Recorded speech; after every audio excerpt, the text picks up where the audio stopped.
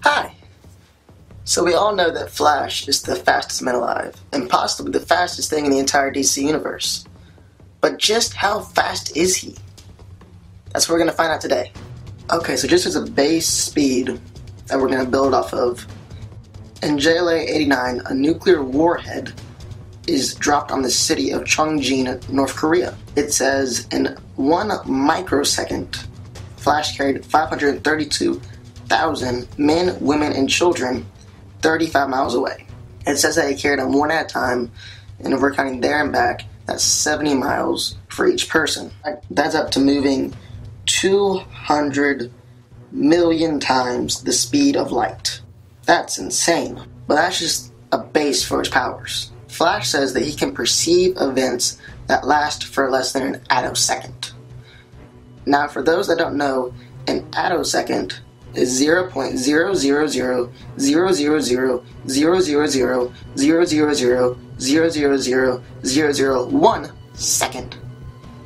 That's how fast an attosecond is. It's impossible for the human mind to imagine just how short of a time frame that is. So let's give some comparisons. 12 attoseconds is the shortest measurable period of time. In a single second, light can circle around the Earth 7.5 times. In a single attosecond, light would barely manage to move from one end of a molecule to the other end. If you could perceive the world in that speed, even light would appear frozen to you. One attosecond is to a second what the size of an atom is to the size of an entire planet times a hundred. If you were an immortal living in that time frame, you would live out the entire age of the universe in the time it would take a normal person to blink.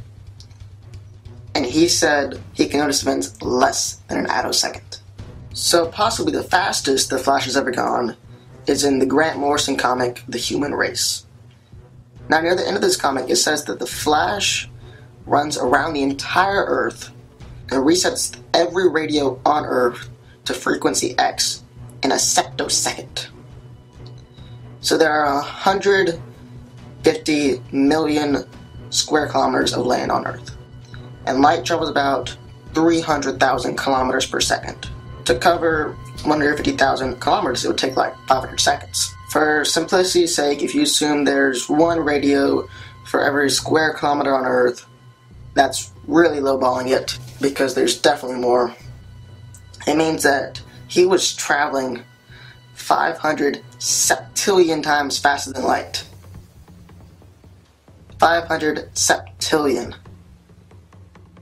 Now, I understand that I'm really, really lowballing this feat because I don't take into account the time it takes him to tune every radio, the accurate density of radios, which should be much higher. I'm just doing it because math is easier. Radios that aren't on land, like in boats, or the time it takes him to search the square of every kilometer.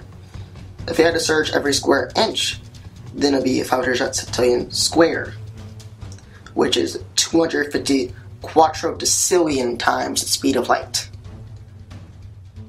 250 quadrodecillion.